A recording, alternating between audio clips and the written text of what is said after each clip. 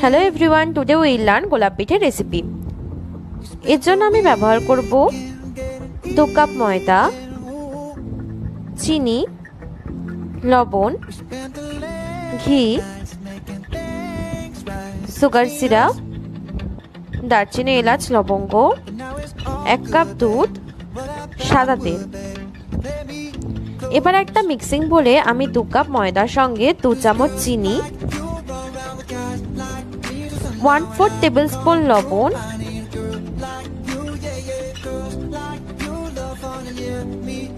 দু চামচ ঘি দিয়ে ভালোভাবে মিশিয়ে নেব।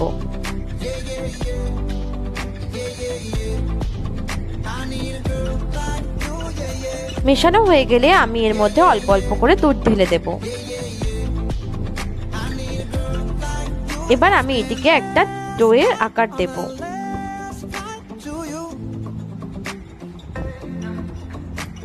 আমার ডো তৈরি হয়ে গেছে, এবার আমি এটিকে পনেরো মিনিটের জন্য রেখে রাখব। এবার আমি পনেরো মিনিট পর ঢাকনা খুলে এটিকে ছোটো ছোটো গোল গোল আকারে গোলাকার শেপ করে নেব।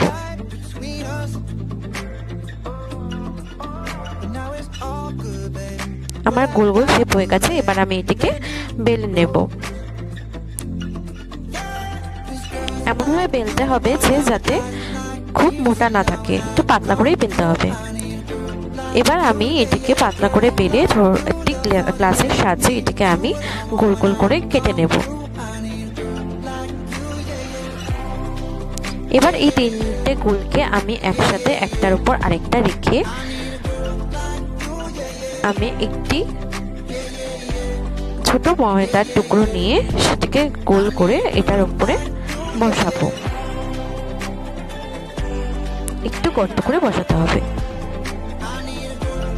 এবার এটিকে একটি ছুরির সাহায্যে তিন দিকে সমানভাবে কেটে নিতে হবে। কেটে নেওয়ার পর আমি এখানে গোলাপের আকার দেব।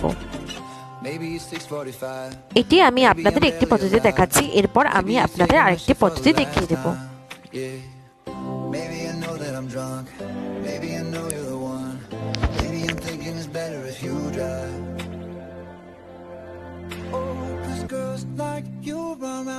Guys like me till sundown when I come through. I need a girl like you, yeah. দেখুন কি সুন্দর গোলাপের মতো দেখতে হয়েছে এবার আমি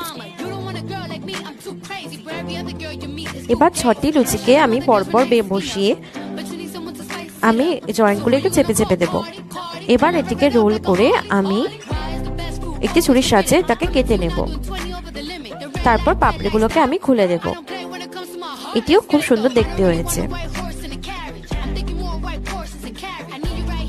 এবার একটি কড়াইয়ের মধ্যে আমি চিনি সিরাপটাকে ঢেলে দেব। তারপর দার্জিলিং এলাচ, লবঙ্গ দিয়ে দিয়ে দেবো, একটু নাড়াচাড়া করে নেব। এবার অন্য একটি কড়াইতে আমি তেল দিয়ে দেব। তেল দেওয়ার পর আমি ওই গোলাপ পিঠেগুলোকে এটার উপর, এটার মধ্যে দিয়ে দেব। এবার একটু নাড়াচাড়া করে নিতে হবে। যেই ব্রাউন ব্রাউন কালার চলে আসবে তখন আমরা এটাকে তেল থেকে তুলে সেই রসের মধ্যে চুবিয়ে দেব।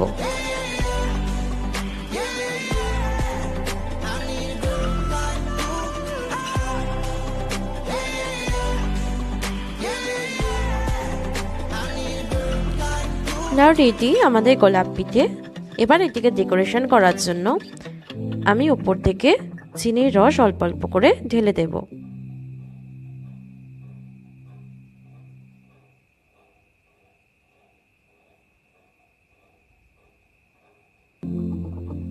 আর ওপর থেকে একটু নারকেল কোড়া ছড়িয়ে দেব।